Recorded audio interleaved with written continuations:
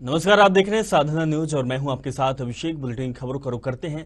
मुख्यमंत्री भूपेश बघेल ने बिलासपुर ज़िले के ग्राम सीलर में गौठान का निरीक्षण किया। निरीक्षण के दौरान सीएम ने ग्रामीणों और स्वयं सहायता समूह की महिलाओं से चर्चा की। आपको बता दें कि सीलर गाँव की महिलाएँ मशरूम की बिक्री के लिए एक एग्रो कंपनी के साथ एएमयू किया। मुख्यमंत्री ने महिला स्वयं सहायता समूह की महिलाओं को इस उपलब्धि के लिए बधाई और शुभकामनाएँ दी।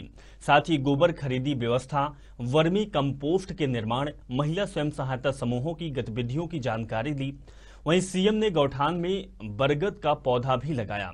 इस अवसर पर गृह मंत्री और बिलासपुर ज़िले के प्रभारी मंत्री ताम्रध्वज साहू, नगरीय प्रशासन मंत्री डॉक्टर शिव डहरिया और जनप्रतिनिधि मौजूद थे।